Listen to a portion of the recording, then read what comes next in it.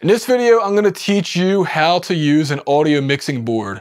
Basically, an audio mixing board is the central nervous system of your studio. It's where all audio is routed to and from the mixer.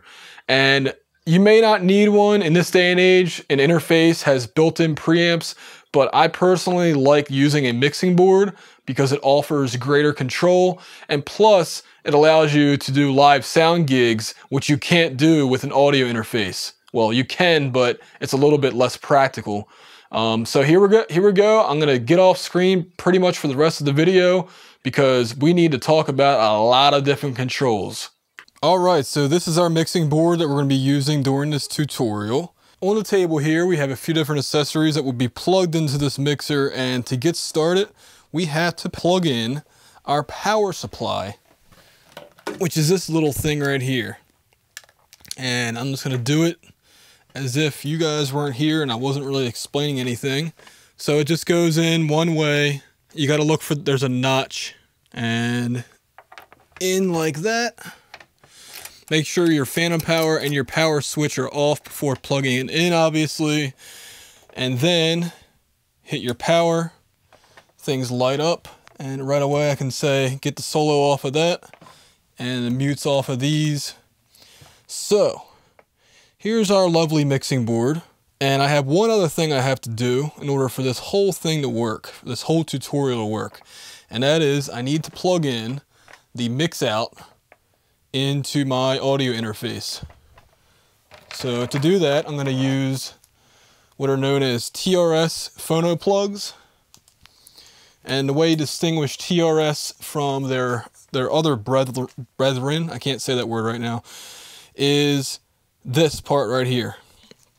This is just TS, so that's tip sleeve, and this is tip ring sleeve or something like that. Anyway, the bottom line is the one on the left, the gray one, is unbalanced. This one is balanced, so you have less noise. You, if you have the option with your mixer board, and pretty much all of them support TRS balance cables, um, at least the really crappy ones may not use TRS cables, absolutely. So actually I'm putting that to the side. And the reason I'm doing that is because I want to record the mixing board along with my lavalier microphone that I have plugged in my camera right now. So nothing's plugged in right now. So I'm going to go in to the output, our main output left, and then I'm going to run this cable. This is going to go into my left input, which is input number one on the interface. All right, and then TRS cable number two. And yes, they are a little bit more expensive than TS cables, but that's just how it is. And this is gonna go obviously into input number two of the Audient ID14. Now, because the Audient ID14 has the preamps within the line input, I have to actually set that to a certain level. And what that means is I need to run this, which has a tone generator in it. So on our cable tester here, we can see we have three different output levels. And I'm gonna set this to the mic input and I'll set it to one kilohertz. There's options for that as well, but it involves pressing one of these buttons down here. Um, yeah, in this case, I, yeah, you hit the reset button. So what I what I'm gonna do is, see, I turn that on to test tone and I press that button and when it's off it's 440 when it's on it's one kilohertz. And I'm gonna do with all this off camera actually you know what? I, I, should I should do this. This is kind of important in case you guys have to do this. So this is what the XLR looks like. I'll pull it out again just so you can see it. So on the output well the input side for the mixer this is what it looks like. Three prongs and then come on, into the microphone or whatever your output is. This is the female end. XLR F. This is XLR M. And then it goes in like that. Your mixer board might look different. Uh, by the way, that's another thing I, I forgot to mention. Your mixer board will look different, obviously. It will operate a little bit differently, but these all are basically universal principles. Okay, so on our cable tester, I'm gonna put my test tone on. And again, my mic level's there. And I want one kilohertz. So all I'm gonna do now is bring up my, my gain knob. Actually, I forgot to put this in solo. So solo it, put that up. And I can't see those numbers because of that light is glaring off of it. Normally that's not the case. So I'm gonna bring it up a little bit higher. So it's right on zero, like that. Take it off of solo mode, bring up the fader, like that, and bring up my mix, my main mix knobs right here. All right, I'm gonna look into seeing if this is actually working or not. It should be, and it's not. At least it's not showing up there. So at this point, I'm gonna bring it up. Okay, it is actually outputting. It's just not showing up on the meter for some reason. Uh, I have the screen capture software going right now, and it's showing that I have output on both of my meters. So I'm just gonna roll with this and go to my armed and going to both of my channels here. And we definitely have an alignment issue. But like I said, this is all about adjusting the Audient levels. So I'm going to adjust my, uh, my left channel first, channel 1.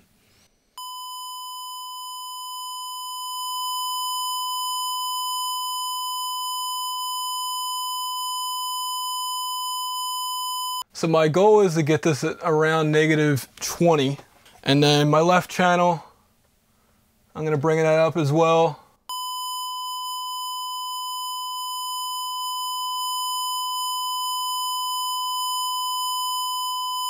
There we go. They're both at negative 20.1. So cable tester is getting pulled out and I'm actually now put it in. Ugh. Man, that's that's hard to pull out sometimes. All right, I'm gonna put this to the side, the cable tester. And now I'll show you plugging in a microphone. Very, uh, very interesting. Let's see what that looks like. okay, so like I said, female in like that. There's only way one way to do it. And I'm going to put it right back on my mic clip. All right, back on the mixer board, we have our XLR input, as I was showing you with the microphone input, and we have our line input. Now, obviously you would use a phono cable like this. A TR, this is TS, TRS is also um, available. And you know that because it says BAL or unBAL, standing for balanced or unbalanced. Obviously, whenever you can, use a balanced line input, TRS all the way. Next up, we have what's called a low cut filter, also called normally a high pass filter. This one is at 75 Hertz, and I believe it's an 18 decibel per octave low cut switch. I would not use it on this board unless I was mixing live, and the reason is, on these cheaper mixing boards, the filter is not as good as if you were using software or a better one on a better mixing board. So normally I have this off when I'm recording or if like I said, if I'm doing something live, then I'll only have it off on the bass guitar, the kick drum, uh, maybe a synth or a keyboard, something like that, where mic rumble isn't an issue or just, you know, popped peas. You know, you want to have that low end on your bass channels. Next up, I already talked about this. This is our, it's called trim or gain. It's called gain on here. It's called gain, gain on Mackie boards. What this does is it, it raises the volume. Actually, the input signal is the correct term. It raises the amount of input signal from our inputs. So, you know, mic, obviously, we're going to have it pretty high. If you look closely, these are also marked um, unfortunately, the light is putting it in shadow, but it says plus four and negative 10, and that's our line level distinctions. I'll link to a video in the video description of the difference between professional line level and consumer line level, but that's what those are referring to. So, I'm going to set a level. Now on this mixer board, and on the Mackie as well, we have two different modes over here it says solo and PFL, and that stands for pre-fader listen. When we're setting levels, we want to have this button switched out. Right now it's switched in, I just pressed it. So switch it out. That puts us in pre-fader listen mode. and that is the preferred mode for setting levels. So what I'm going to do, and this is why it's important to do it this way, you can have the fader all the way down. If you can't see that, I'm, I'm sorry. The faders are all the way down to negative infinity, and I'm going to set my level by pressing this solo button right here. And then see that yellow light comes on?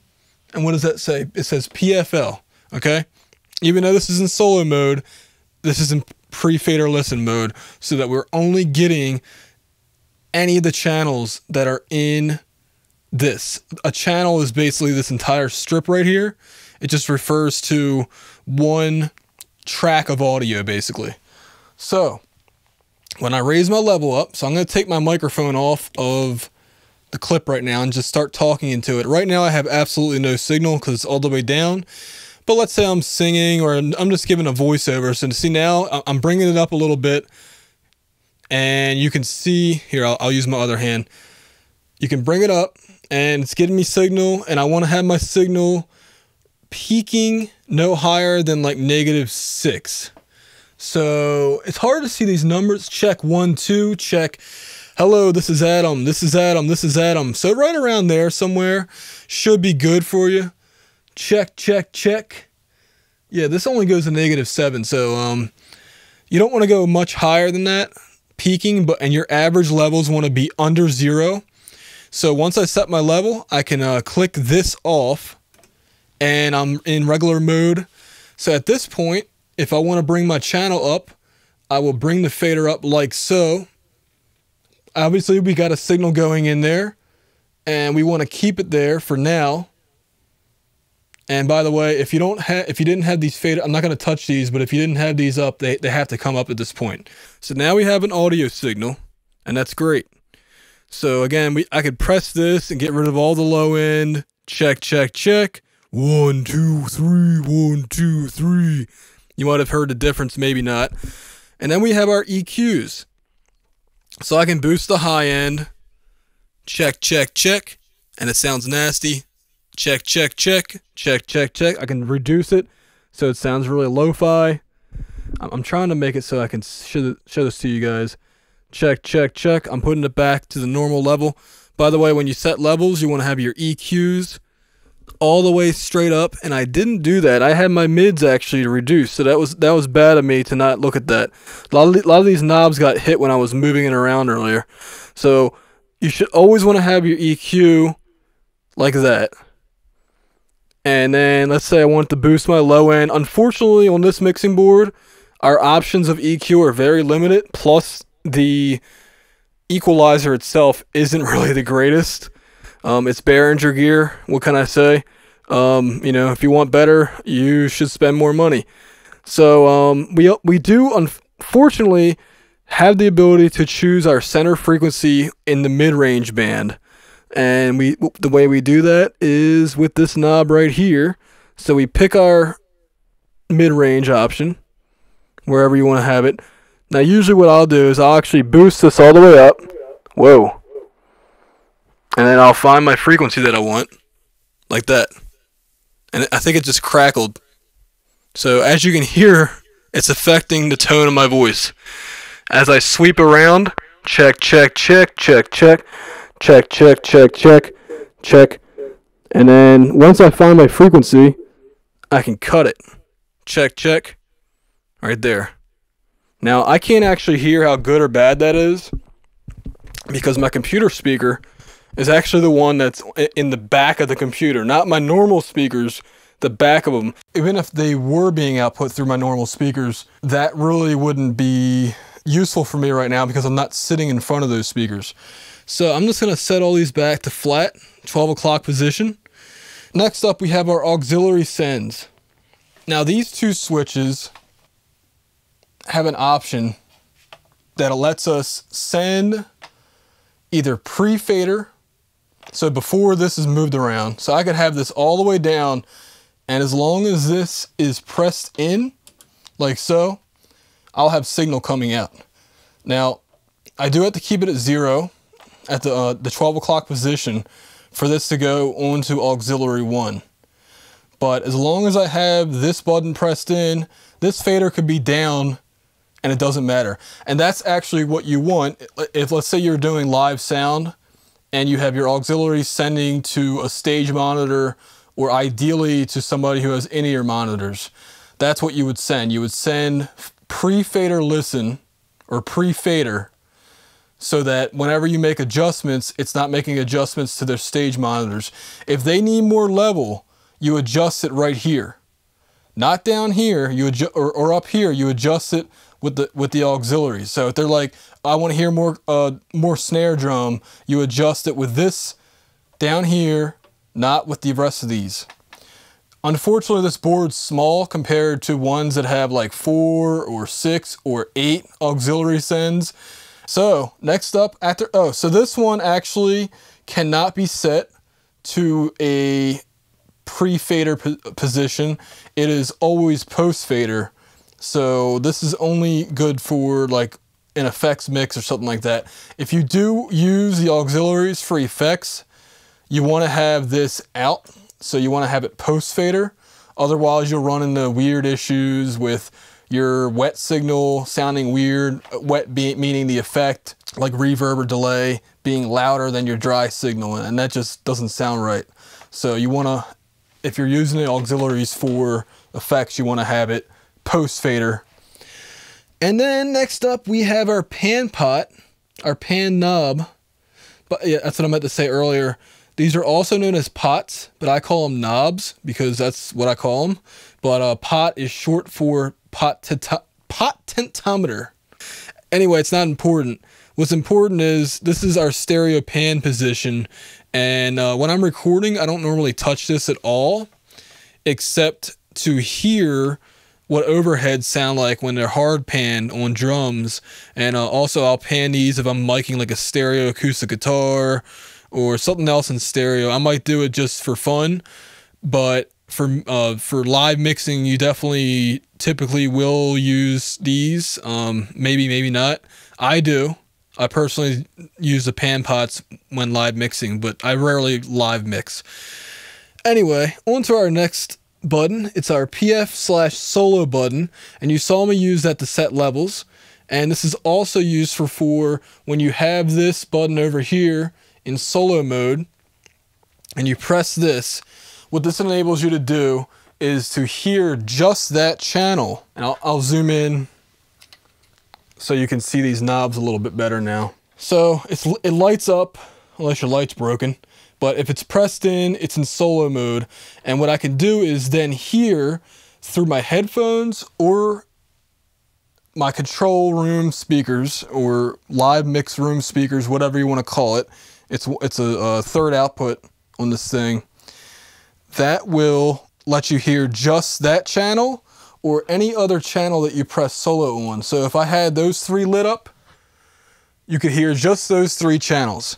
But typically you want to do this to diagnose any problems you have. Let, us say uh, you start hearing noise, you start hearing crackling, some kind of problem with your audio, and you want to hear that, you know, figure out what's going on. You press your solo button, and that will allow you to hear it just for that. And you got to remember to press this the button, and I'll zoom it. I'll zoom out now so you can see the whole board.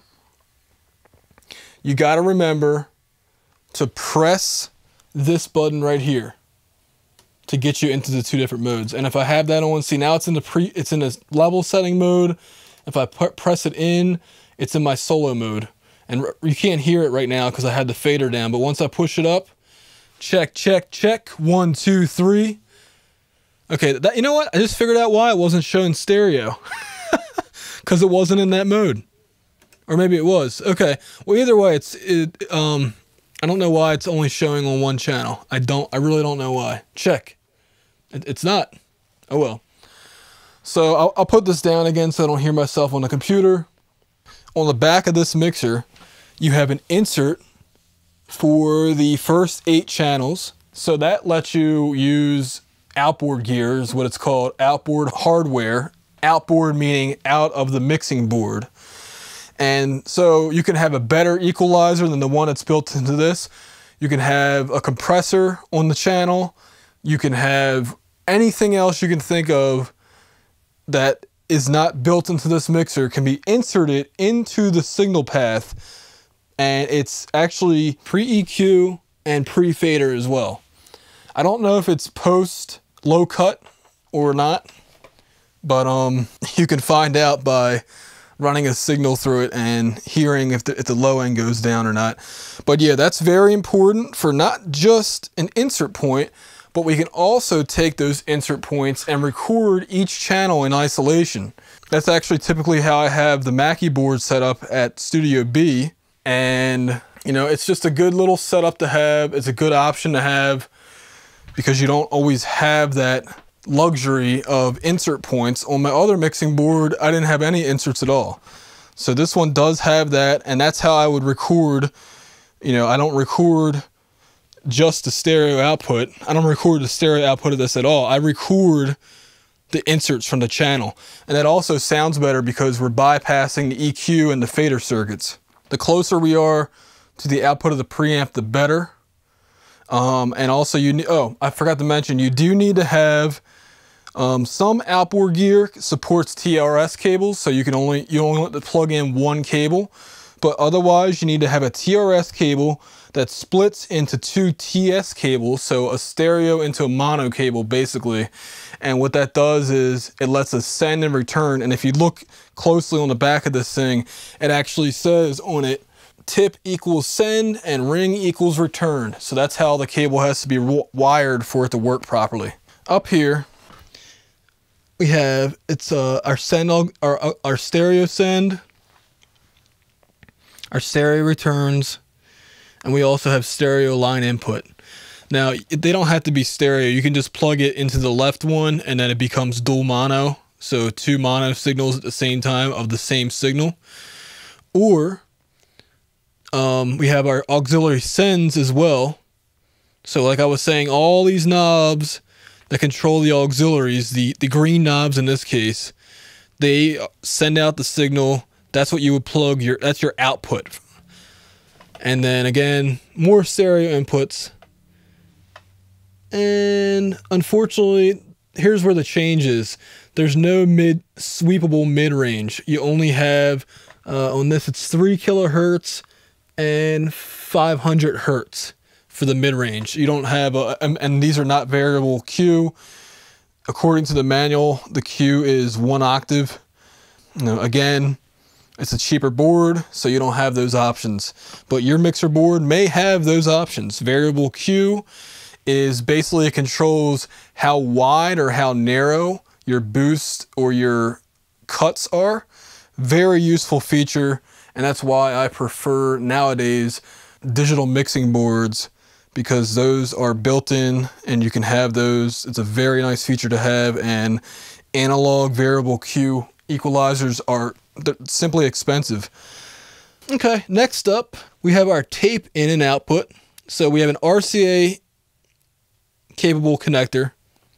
I used to use this a lot until I found out that phono was the way to go and RCA is, um, you know, it is what it is. But we have that if we need it.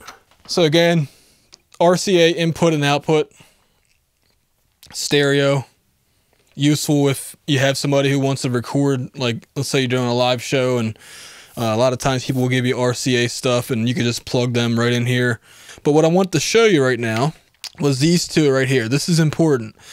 When I first started using a mixer board at Studio B, I had my cables routed the wrong way and I actually ended up almost damaging the interface. I, I forget why. I think, oh, it was because we had to use these weird adapters for it for some reason.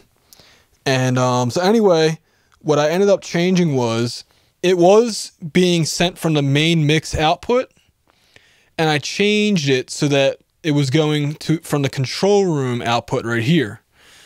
And what that enabled us to do is I could adjust everything with the knob down here, which I, I uh, is off screen right now.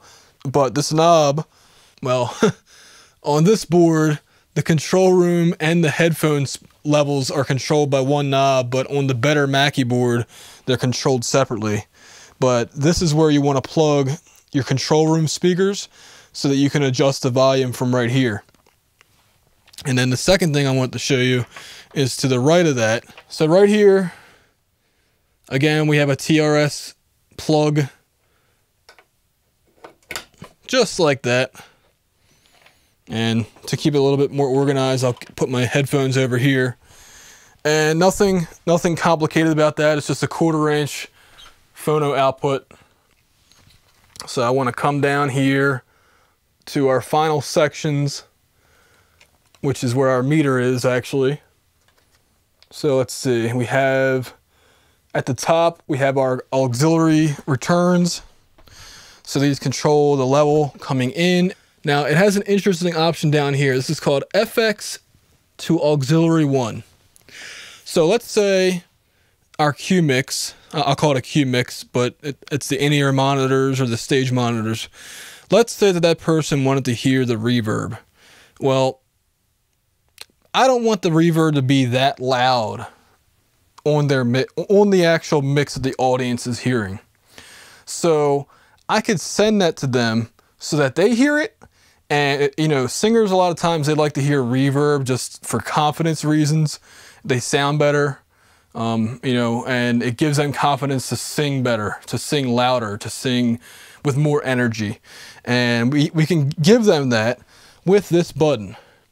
Now you got to be careful though, because you can create a feedback loop with that. But normally I would have this set so that because you're so limited on channels, auxiliary one would actually just get, I would put the reverb on a different channel because I have way more channels over here. And like I said, I don't like using the stereo inputs. I'm to actually pan down now or, or tilt down to here. Now I'm missing the knob cover on this volume control, but this would normally look like all these other ones. And this controls the output of the headphones, controls the output of the control room speakers, the volume level. Okay, then we also have our auxiliary sends. So the, again, these control just, it's just an, another level control. And we have, I think it's uh, infinity to, put to plus 15 decibels of gain. Typically you want to have that at zero if you can avoid having to boost it because whenever you boost these cheaper channels, you just add more noise. And that also goes for the faders as well. The faders, although you can go up to uh, another 10 decibels on the faders, you really want to increase or decrease your volume with the trim or gain knob in this case.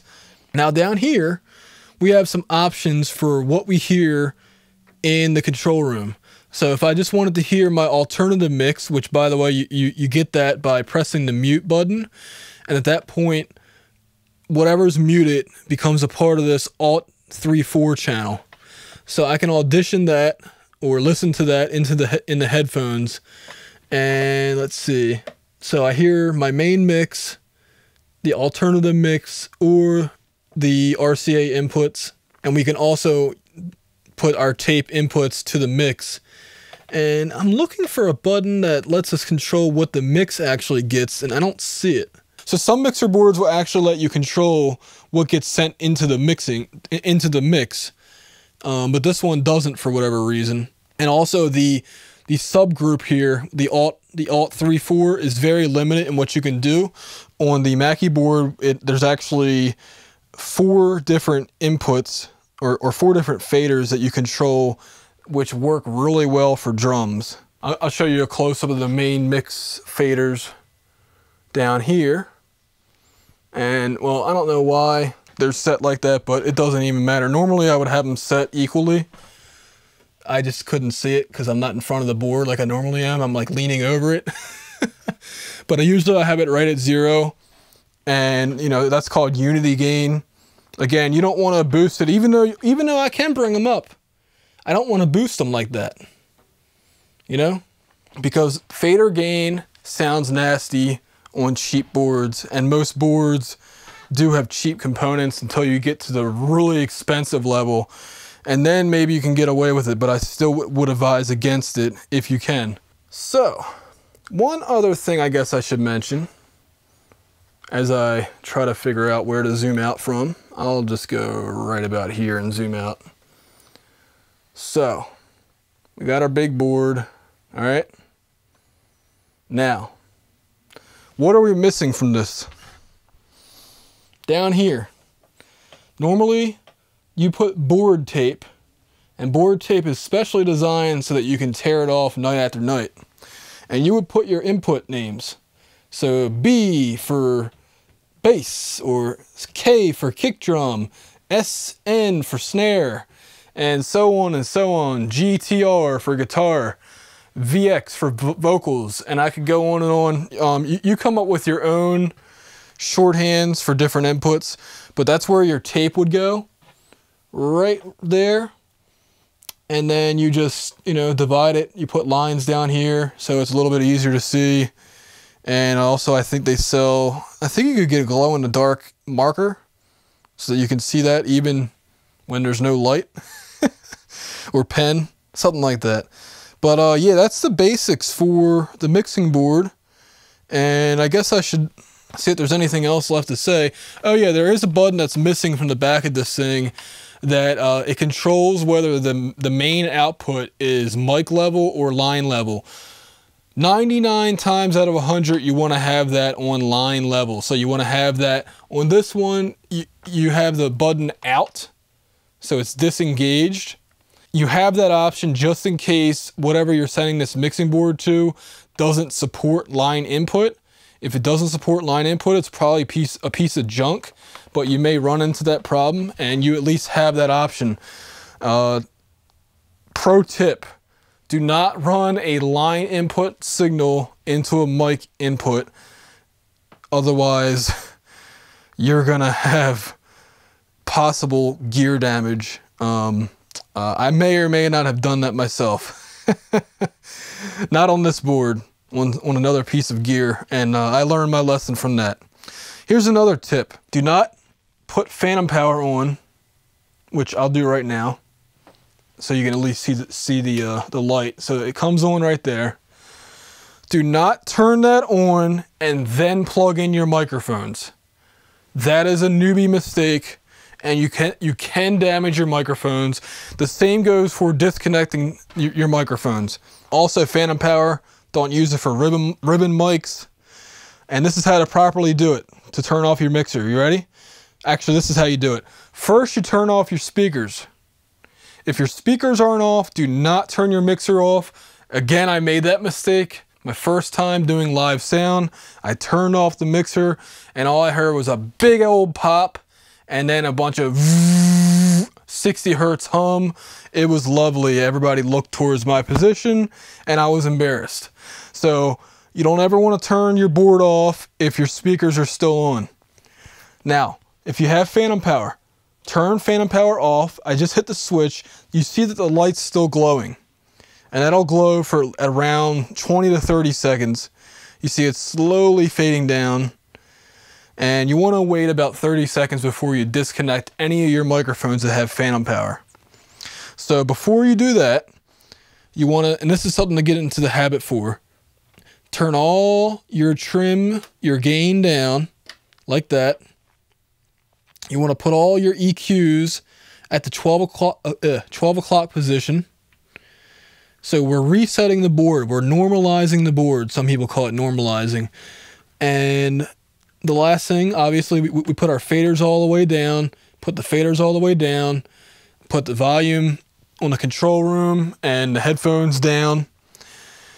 Then at that point, you can either disconnect the microphones now, which I normally do.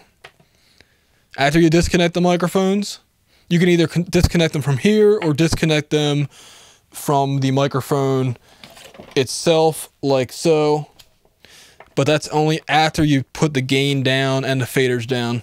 Um, I don't know how much of a difference that particularly makes, but I just feel better having my preamp down before I disconnect anything.